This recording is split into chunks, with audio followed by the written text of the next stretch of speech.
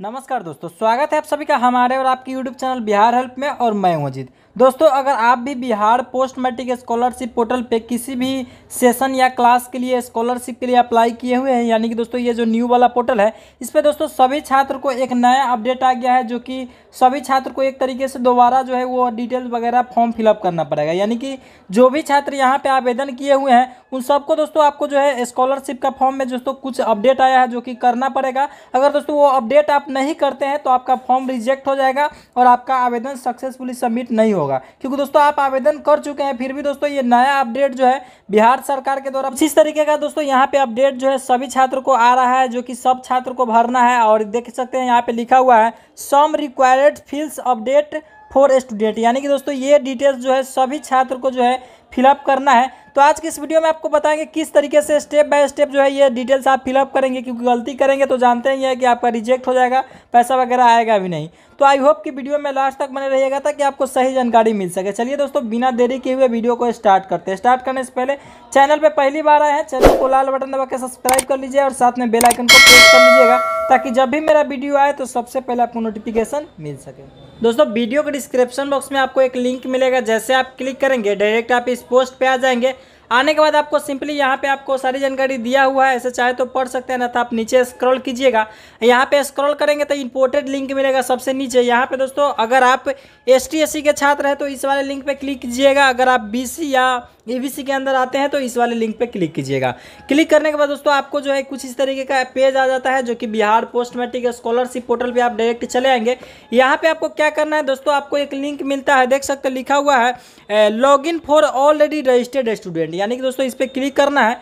जैसे आप क्लिक करेंगे तो यहाँ पे दोस्तों आप जो है लॉगिन पेज पे चले आएँगे और लॉगिन पेज पे आने के बाद दोस्तों आपको बताते हैं कि जो आपने आवेदन किया था, यानी कि बिहार पोस्ट मैट्रिक स्कॉलरशिप के लिए आप आवेदन किए थे तो आपका एक अप्लीकेशन नंबर और पासवर्ड आपने बनाया होगा अप्लीकेशन नंबर पासवर्ड जिससे आपने फॉर्म फिलअप किया है।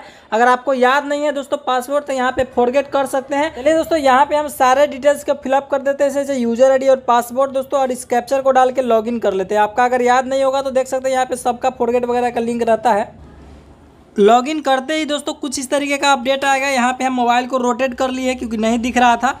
यहाँ पे दोस्तों, सबसे पहले जो है आपको सेलेक्ट अप्लीकेशन आईडी यानी कि दोस्तों, आप जितना भी आवेदन किए हैं, यहाँ पे आपको शो करेगा, क्योंकि दोस्तों, बहुत सारे छात्र हैं तीन चार भी अप्लाई किए हैं मतलब तीन तक, और जो भी आवेदन आपको, अगर दो आवेदन किए हैं तो दोनों आपको फिलअप करना पड़ेगा। चलिए दोस्तों, हम यहाँ पे सबसे फ़र्स्ट वाले को यहाँ पे सेलेक्ट कर लेते हैं।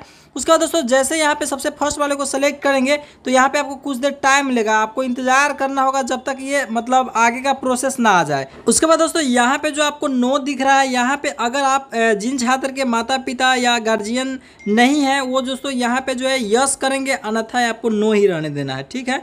उसके बाद दोस्तों यहाँ पे जो इस वाले में बॉक्स देख रहे हैं परसेंटेज यहाँ पे मांगा जा रहा है तो दोस्तों अगर आपने फॉर्म भरते समय अगर विकलांगता के लिए जो है वहाँ पे यस किया होगा तो यहाँ पे आपको परसेंटेज डालना है नहीं तो अन्यथा इसको छोड़ देना है यानी कि दोस्तों इसको आ, मतलब आगे बढ़ जाना है।